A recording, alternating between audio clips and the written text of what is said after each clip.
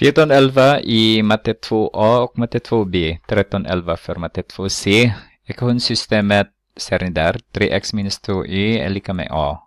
ax plus by är lika med 10. Här är lösningen x är lika med negativ 2 och y är lika med negativ 1. Bestäm talen a och b. Det är lika bra att sätta in dem. Så vet vi redan. Så 3x, min första ekvation.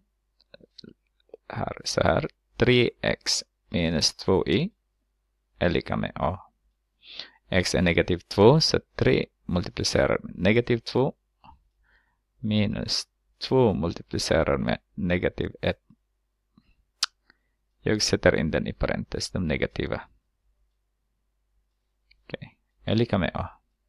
Så att den, ni ser. Den här är negativ 6. Det negativa och negativ, det är positiv 2 lika med A. Så A måste vara negativ 4. Där är det klart med det. B. Vi ska använda den andra ekvationen. Så är det AX plus BY lika med 10. Här jag A som är negativ 4 multiplicerar med negativ 2. Jag skriver i parentes därför att det är negativ plus b vet vi inte. Multiplicerar med negativ 1, skriver också det i parentes, är lika med 10. Och det är negativ negativ så blir 8. Positiv och negativ, det är negativ, är lika med 10. Vill jag inte ha negativ där så flyttar jag den, det blir positiv b.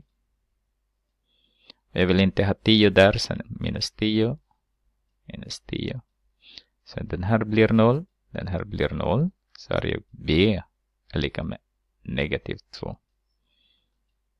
Så a och a är negativ 4 och b är negativ 2 om man har x som är negativ 2 och y som är negativ